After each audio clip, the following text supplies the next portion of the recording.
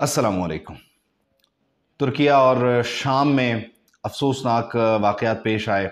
सात आशारिया नौ शदत का जल्ज़ला, जिसने सिर्फ़, तुर्किया और शाम में रहने वालों की ज़िंदगियों को मुतासर नहीं किया, बल्कि कई हज़ार किलोमीटर दूर बैठे हुए इंसान भी, दहल कर रह गए।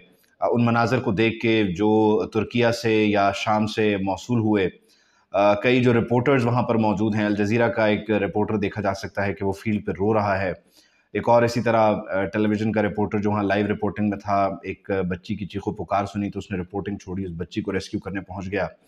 पाकिस्तान से इमदाद पहुँच रही है, हमारे रज़ाकार पहुँच गए हैं।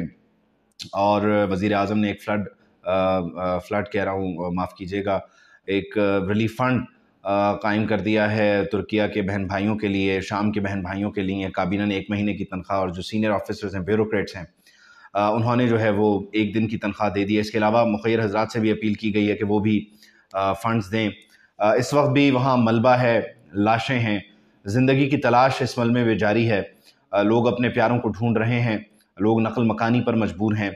और हैरान कन, परेशान कन बात यह है कि कई जो है वो आफ्टर शॉक्स कई सौ आफ्टर शॉक्स रिपोर्ट हो रहे हैं जो कि कल से अब तक इन इलाकों में महसूस किए गए। एक अजीब सी फ़ज़ा है। मलबे में बच्चे दबे हुए हैं, जवान लाशें उठ रही हैं और ये क़यामत सगरा नहीं तो क्या है?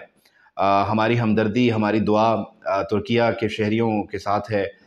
शाम में बसने वाले, शाम में जो जलज़ला मुतासरीन हैं उनके साथ हैं कि अल्लाह रब्ज़त उनके लिए आसानियाँ फ़रमाए। लेकिन एक तो ये कि तीन रोज़ पहले जो एक एक्सपर्ट हैं उन्होंने पेशगोई की थी, उन्होंने अपनी रीडिंग्स के अकॉर्डिंग कहा और वो दुरुस्त साबित हो गया अब उनके नाम से मंसूब कई फेक अकाउंट्स जो हैं वो इस वक्त ट्विटर पे ऑपरेट कर रहे हैं या दीगर सोशल मीडिया प्लेटफॉर्म्स पे ऑपरेट कर रहे हैं और कहा यह जा रहा है कि पाकिस्तान, अफ़गानिस्तान, इंडिया इधर भी बड़ा शदीद जल्जला आने वाला है। यही फॉल्ट लाइन्स जो हैं ये आगे बढ़ रही हैं और पता नहीं क्या कुछ इस वक्त इस परेशान कन लम्हात में भी लोग जो हैं वो कयास आराइयाँ कर रहे हैं, अफवाहें फैला रहे हैं।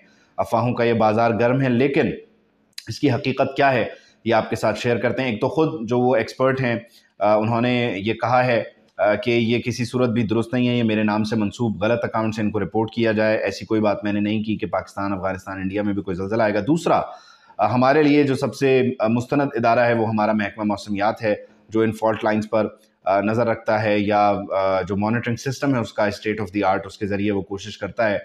ये अलग बात है कि जलज़ले का अंदाज़ा लगाया जा सकता है लेकिन उसकी तबाही या उससे होने वाले नुकसान से बचना इसके चांसेस बहुत ही नैरो होते हैं। ये किसी भी तरक्की पजीर मुल्क के लिए या तरक्की याफ्ता मुल्क के लिए जो है वो नामुमकिन सी बात है कि वो पेशन गोई हो जाने के बाद उसको किसी तरह से अपने जो नुकसान है उसको नैरो डाउन कर ले, बहुत मुश्किल हो जाता है, बहुत ही कठिन सी सूरत हाल होती है। बहरहाल, पाकिस्तान में ये जल्जले के झटके शदीद महसूस किए जाएँगे या नहीं, ये गैब का इल्म है और गैब का इल्म हम में से किसी के पास नहीं है तो ये क़यास आराइयाँ करने वाले, अफवाहें फैलाने वाले खुदा के लिए मुश्किल की इस घड़ी में लोगों को मज़ीद परेशान न करें। दूसरा जो साइंसी बुनियादों पर तहकीक है या डाटा है, उसका सहारा लिया जा सकता है।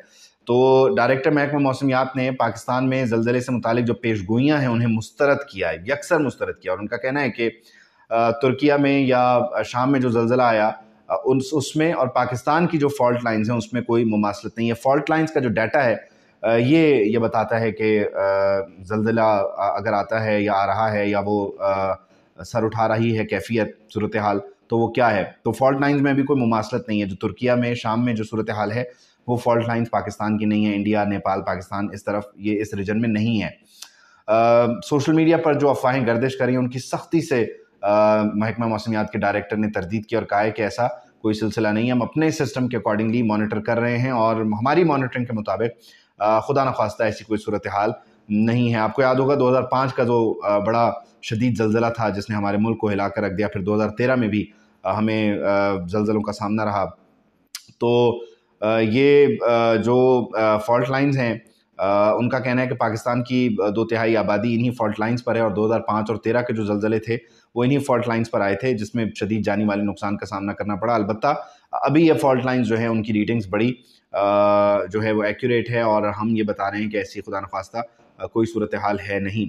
सात आशारिया नौ शिद्दत का एक जल्जला, उसके बाद दूसरा शदीद जलजला और फिर सैकड़ों आफ्टर शॉक्स तो तैंतालीस सौ के करीब अब तक बताया जा रहा है कि लोग जाम बहक हुए हैं। कई सैकड़ों इमारतें जो हैं, वो ज़मीन बोस हो चुकी हैं, मलबे का ढेर बन चुकी हैं। इस अफसोसनाक सूरत हाल में अंदाज़ा ये लगाया जा रहा है कि खुदा न खास्ता खुदा न खास्ता नुकसान इससे कहीं ज़्यादा है जो अभी रिपोर्ट हो रहा है आइंदा आने वाले दिनों में। जब सूरत हाल सेटल होगी तो जो नंबर्स आएँगे वो बड़े परेशान कन होंगे। दुआ है कि अल्लाह रब्ज़त आफ़ियत का मामला रखे।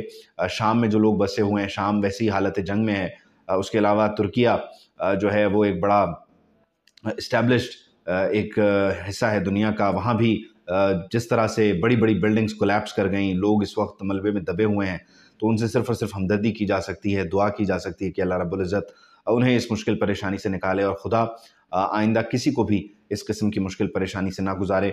ये एक बड़ी ही गमगीन सूरत हाल है बड़ी ही एक अजीब सी सूरत हाल है, जिसमें सिर्फ़ और सिर्फ़ दुआ के अलावा ज़बान से कोई कलिमात अदा नहीं हो रहे। ऐसे में जो कयास आरई है उस पर भी हमें मोहतात रहना चाहिए, जो अफवाहें हैं, इस पर भी हमें मोहतात रहना चाहिए कि यह सिलसिला किसी के लिए भी सेहत अफजा नहीं है। तो आप जो ये वीडियो देख रहे हैं इतमान रखिए। अब तक की जो फॉल्ट लाइन की रीडिंग्स हैं, उसके मुताबिक पाकिस्तान में जो पेशगोइयाँ की जा रही हैं, जो कयास आराइयाँ हैं, ऐसी कोई सूरत हाल नहीं है।